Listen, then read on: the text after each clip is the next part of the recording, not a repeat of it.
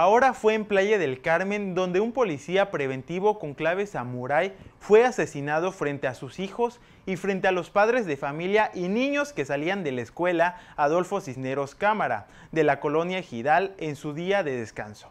De acuerdo con informes preliminares, los matones abrieron fuego contra el policía y escaparon a pie.